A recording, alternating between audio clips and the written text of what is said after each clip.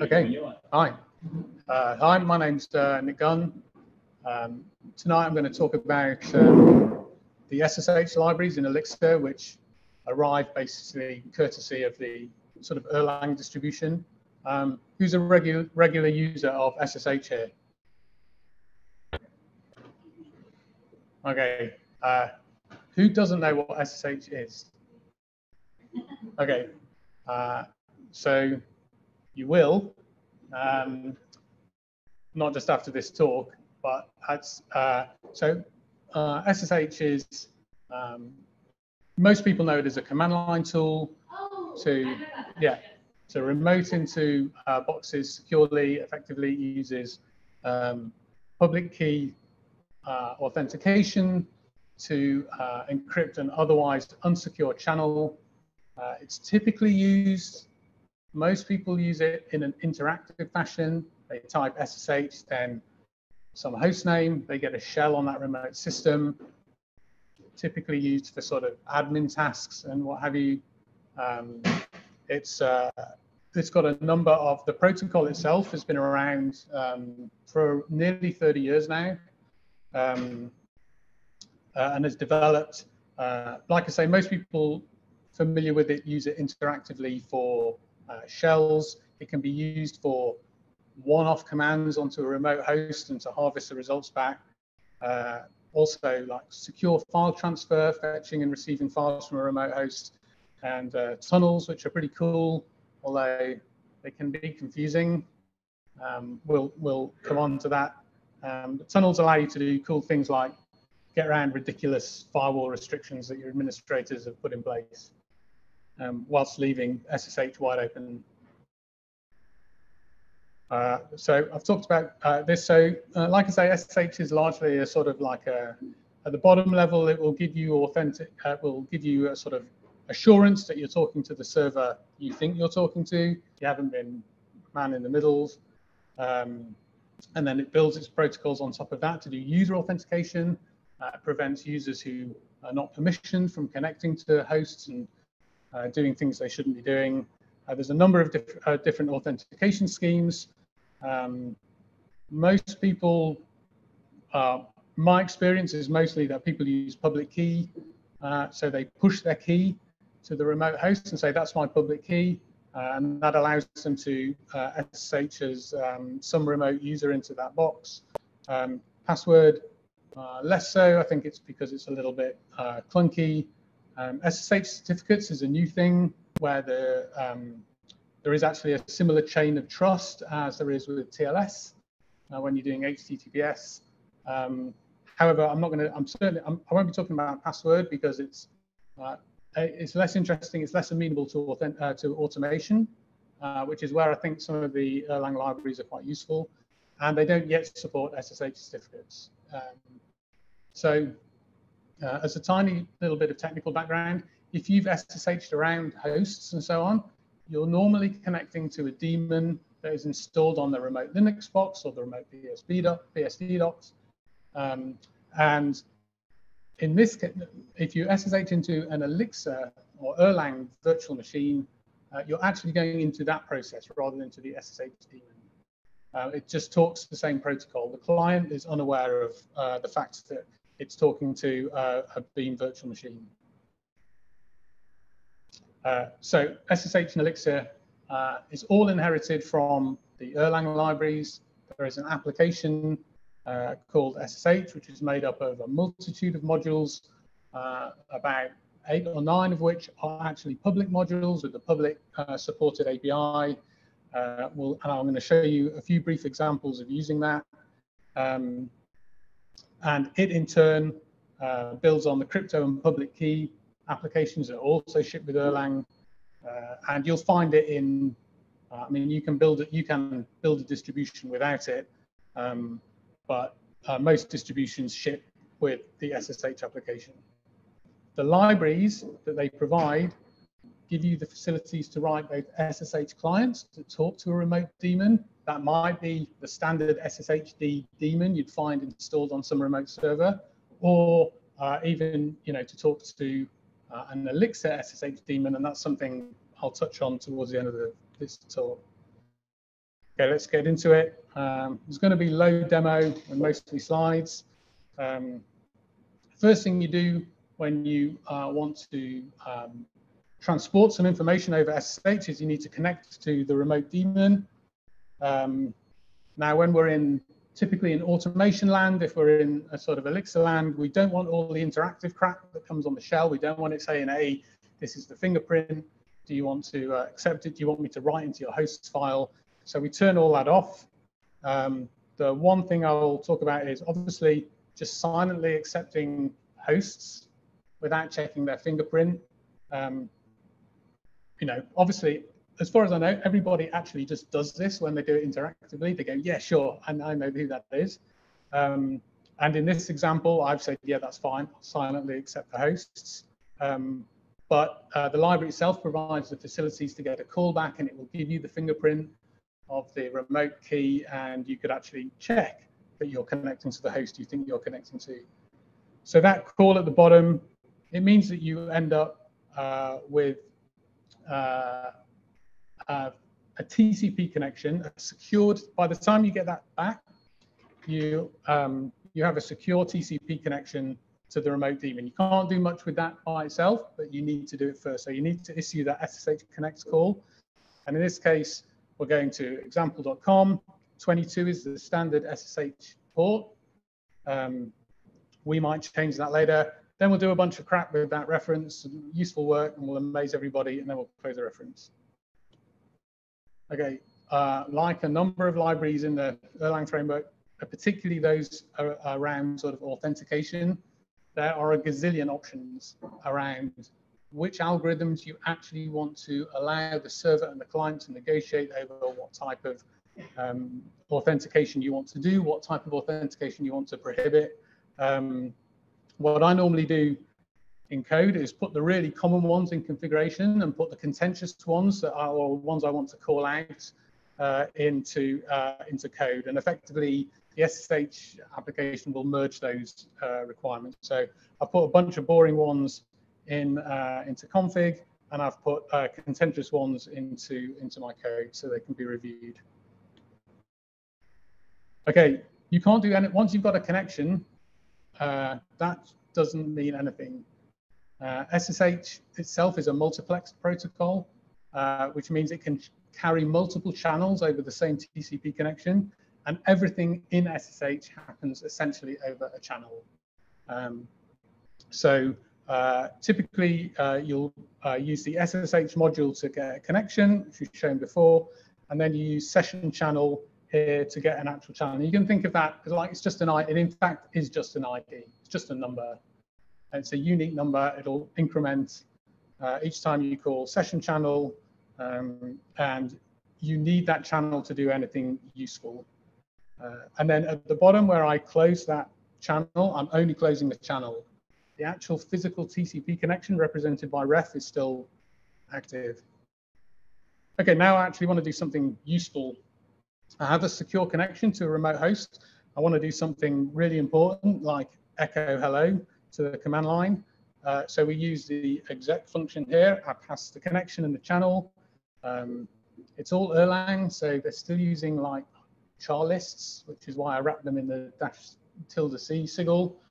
Um, uh, and essentially what that does is it says to the remote host, I want you to run this command on the remote host, capture the output, and send it back to me. Uh, this kind of garbage at the bottom is me just capturing all the results that come back um, until I get this closed message. Uh, and then I uh, finish the, the stream. Okay, so what messages do we actually get when we invoke a remote process this way? Well, we'll get a data message. We might get many of these. It entirely depends on how the data actually gets shuffled down. Uh, we'll get an end of uh, file message, which effectively says um, this channel has, uh, uh, this stream has finished from this process. And then we get something that tells us what did the process we launched actually finish with. Okay, uh, there's a couple of other little pieces of information in there. Um, you can see the one, that's actually, that's just the call, that's the message just telling us which channel we're coming back on. We can have multiple channels in flight at one time, and we may get, if we issue multiple commands, we'll get multiple messages back at different rates. Uh, and then in the data channel, you get told whether or not, did this data get pushed out to standard out, or did it get pushed out to standard error? Uh, okay, SFTP. who said of FTP? Okay, file transfer protocol. It transfers files. Um, secure file transfer protocol does that, but securely, and it does it over uh, a channel. Uh, not surprisingly enough. So uh, in this case, you call start channel the, on the SSH SFTP module, uh, and then uh, effectively, if you've ever actually used SFTP. A lot of people just use SCP. Um, I'll maybe talk very briefly about the difference between the two. Um, uh, SFTP is itself kind of an interactive protocol. You get an SFTP session, you can hit ls, you can hit get, you can write get, put, you can push files, you can enumerate directories remotely on the host. Uh, the functions in the SFTP module allow you to do exactly that. Um, there's some quite sophisticated things in there, like you can say, I want to write exactly this blob to exactly this position in this remote file on the system. Um, some of those are there just to amortize the cost of, making those um, calls. Um, but uh, essentially, that's what uh, you get with SFTP. So I'm just showing a very short flavor of that stuff. Um, I mentioned SCP. Most people I know actually use SCP to push files around. It's kind of simple. You just say SCP in wildcard. Um, SCP is not available in the SSH libraries for the reason that it is not part of the protocol. It's not part of the published protocol. SCP is just a hack that the OpenBSD people put in to OpenSSH. Uh, it sits on existing protocols. It's not very difficult to reverse. What it does um, but essentially uses some of the other features of SSH to start a remote process that then listens to other commands. Um, it's arguably possibly more efficient. It's less, but it, it's it's in the margins. Um, SFTP is actually uh, documented. Okay, tunnels. Tunnels are the best thing. Tunnels are the things that give your administrators nightmares. Um, so tunnels allow you to push connections across uh, machines that would otherwise not be able to make them.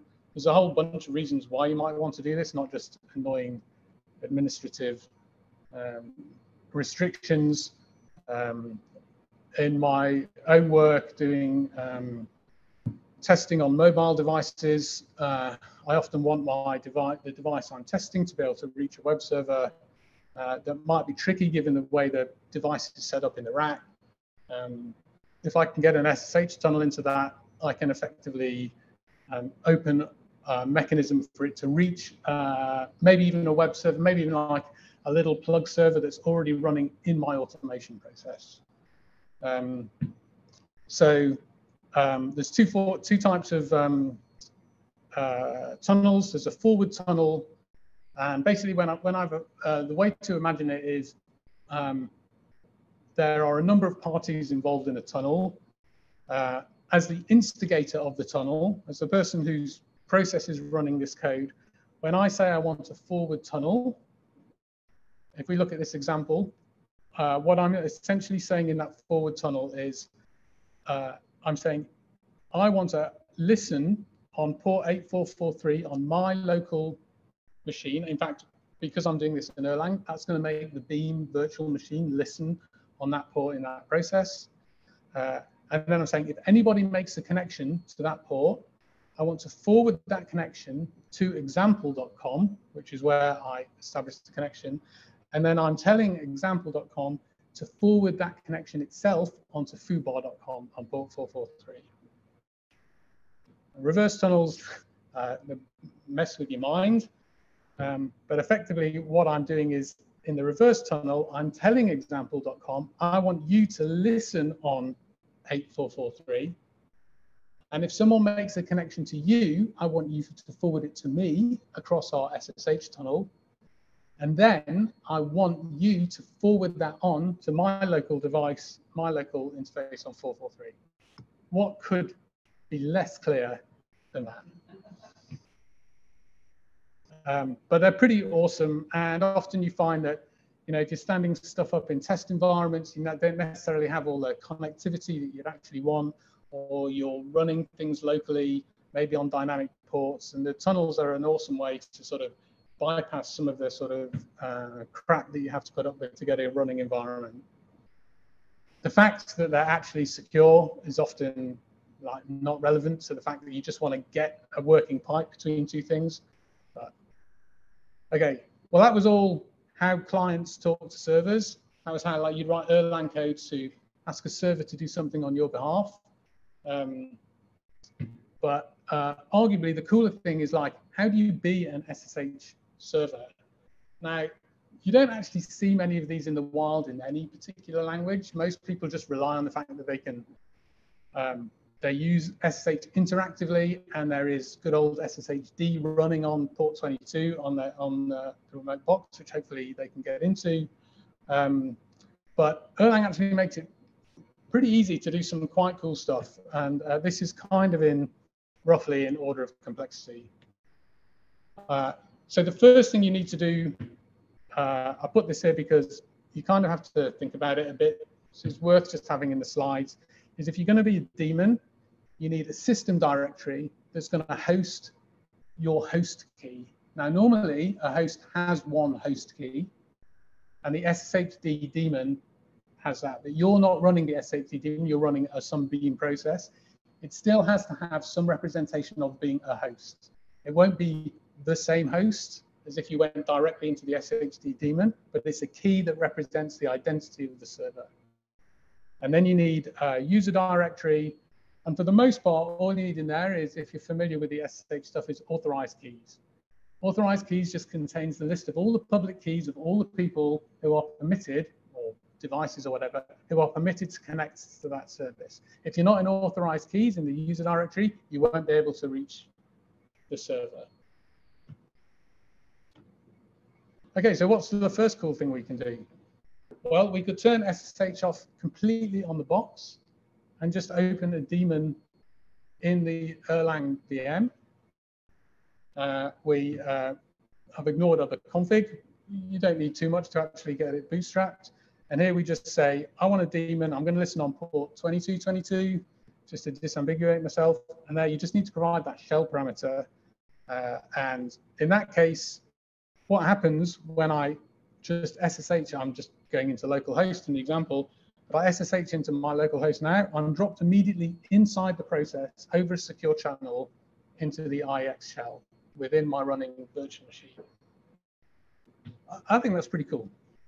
I'm sure you can do it in other less terrible languages, but I think it's awesome.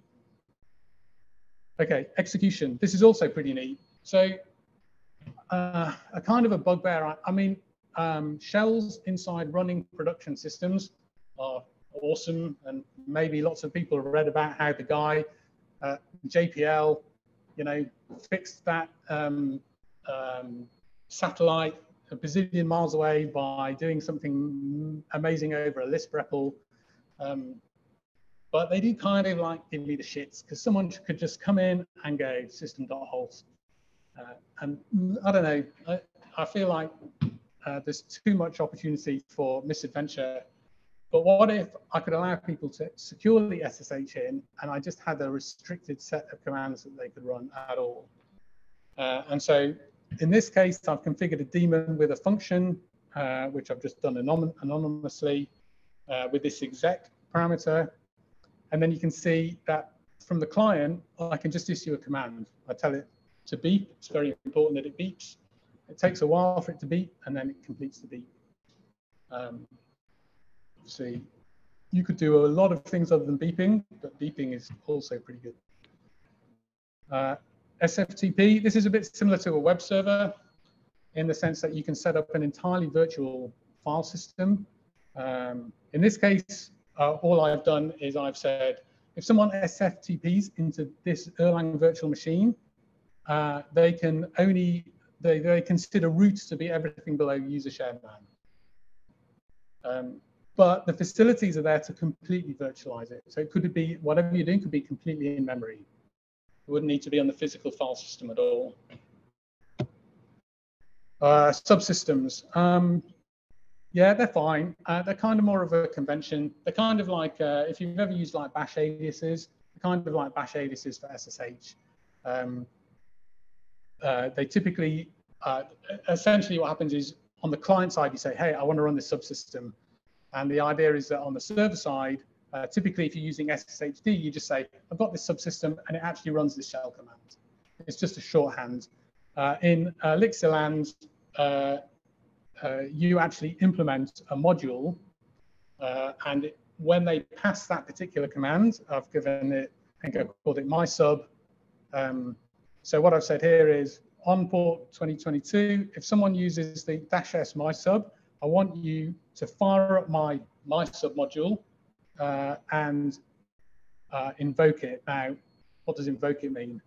Uh, there is a behavior called SSH server channel.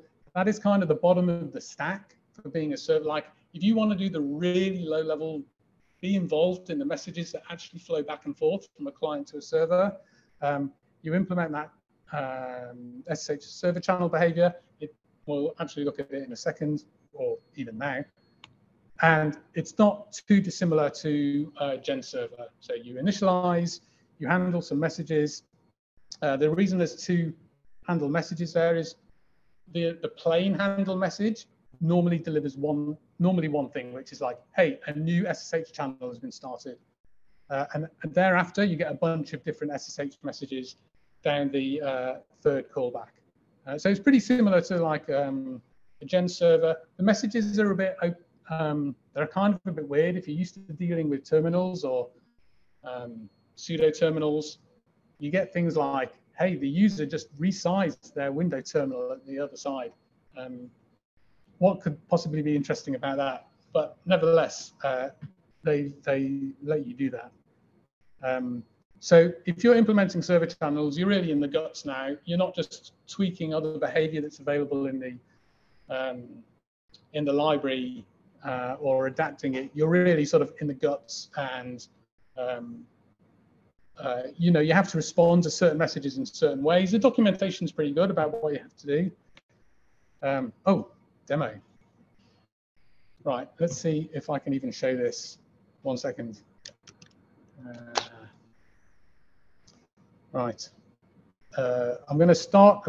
I don't know if the other guys can still hear me. They probably can't see anything at the moment, but I'll try and share, make sure my screen is shared properly.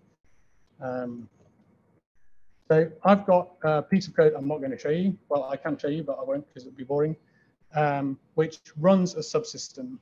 Uh, and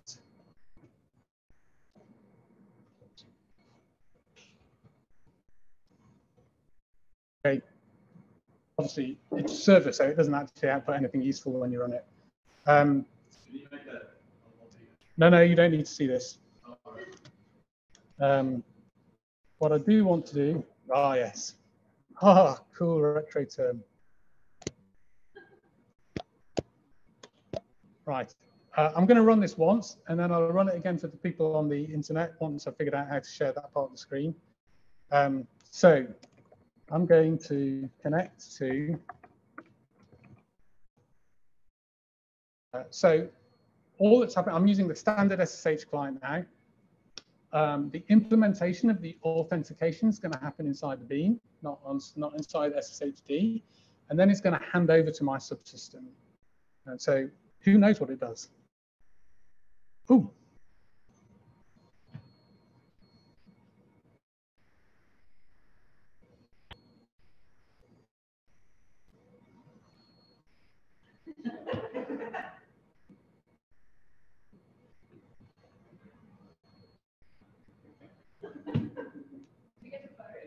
Uh, uh, no.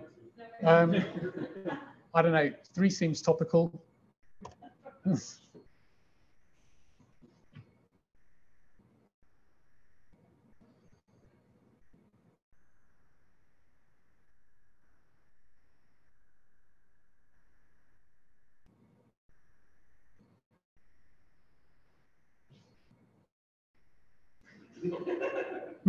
look at that. A life lesson and a technical presentation.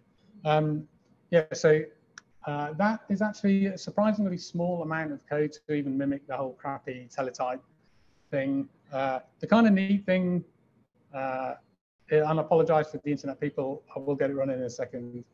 Um, the kind of neat thing is that one part of the message is because it's primarily a terminal interactive protocol, is SSH will tell you as a server, it will say, hey, your client is a VT100 or an Xterm 256. And then uh, in my code, what I do is I just shell out to, in Elixir, I just shell out to infocmp. I don't know if you're familiar. infocmp will give me all the information about that terminal. It'll say, hey, if you want to clear the screen, you need to send this crazy escape code. Or if you need to move the cursor here, you need to send this crazy escape code. Um, so it's actually not very difficult to write something that's sort of terminal independent, but it looks kind of cool in the kind of retro, I was actually born in the 70s kind of way, and it feels like homely and warm. Um, and I don't like web stuff. So um, yeah, that's basically um, SSH. Uh, uh, let me see if I can actually just um, change my, uh, find out what on earth I'm doing. And where's my Zoom window gone? Uh, okay, so I want to share a different window now. Um, so I'm going to stop sharing a second and try and share a different screen. Uh, is it that one? No. Have I still got it? Uh, okay. Why don't I just share my entire screen? Okay, I'm going to try again. Kind of giving it away.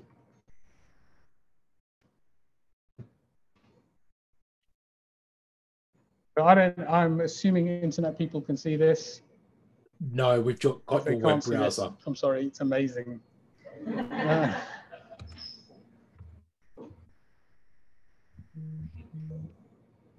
so internet people, you get to vote quickly as well. Good idea.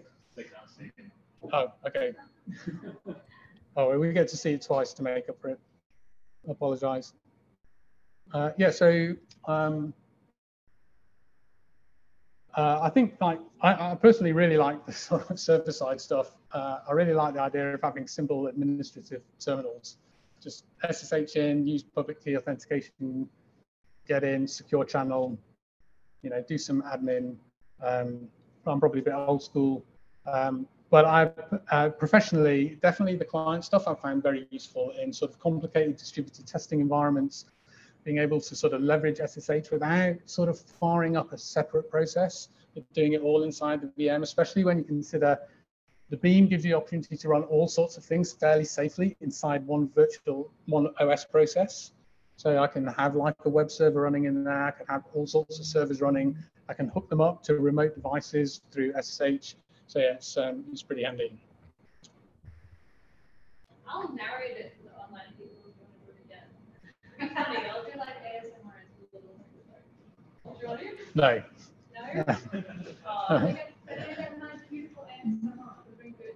Uh, I don't know why it didn't uh, why it didn't share.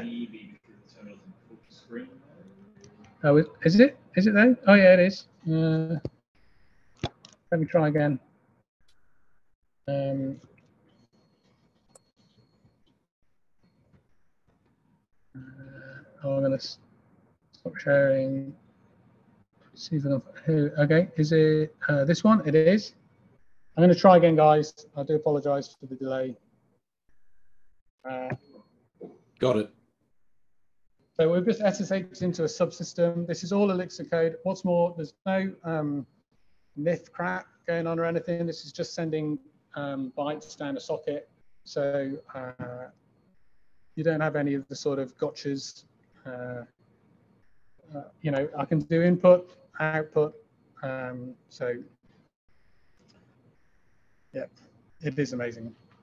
Has um, anyone got any other questions? Like, uh, like practical questions, not kind of stuff I goofed it off on. Can you hear us online? Uh, it's not a huge amount. Um, subsystem itself, uh, let me have a look if I'm even.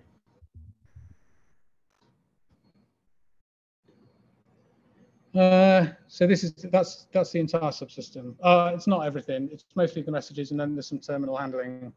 Um, but uh, here's the sort of. Oh, I'm going to make this bigger so you got a chance. Um, can everybody see that? Uh, actually, internet people won't be able to see it. One second. Um,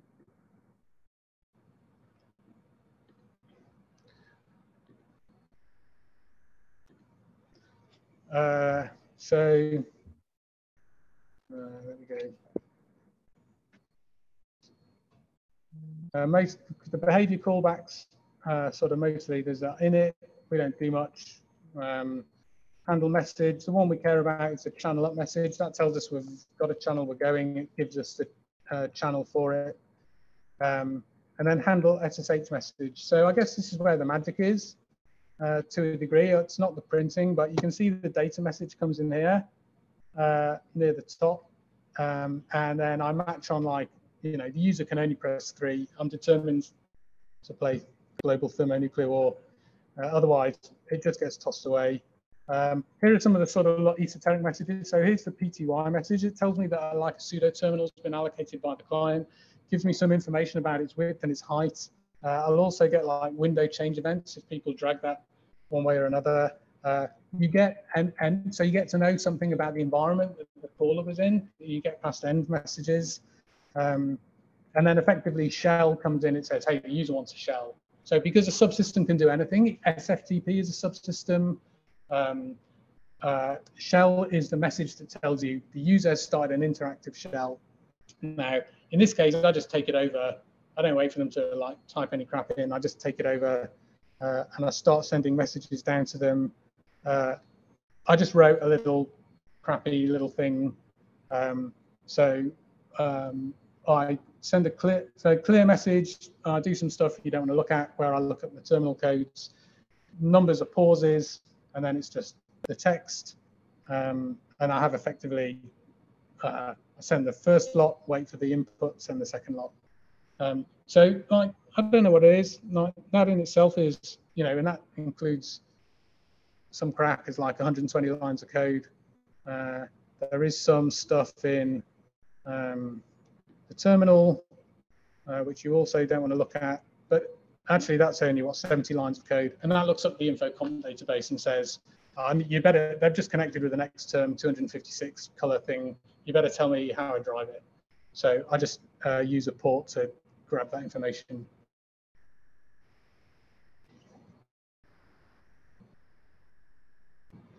the default cipher keys? Uh, that's a great question. So there was a question about what the default cipher keys uh, are, uh, you'd have to look at you'd have to look at the doco. Um, they they do change, like the just like the TLS stuff.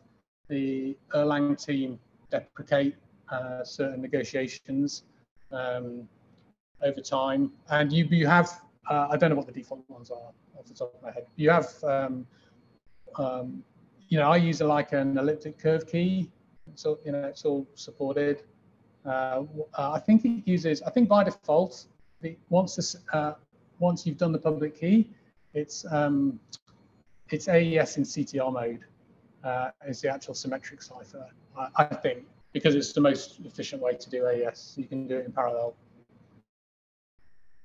Um, so what are you doing on window change? So remember you saying that it can do that and you don't know why. But what are you doing? Uh, I'm just recording. Like if you look on the yeah, if you see, I think it's invisible now but on window change. I'm just recording the new width and height in my end state, but I don't do anything with it. But I might if I. I'm, yeah, definitely. Yeah, I'm going to keep that width and height in line, no matter what you throw at me. Um, uh, but uh, you know, typically that's where you might repaint the screen. You might relay out things if things are set out proportionally and so on. So yeah. I suggest something, especially for people who need programming. Please don't do this at home. especially if you have experience as Nick, but you know the SSH config end to end, please, yes.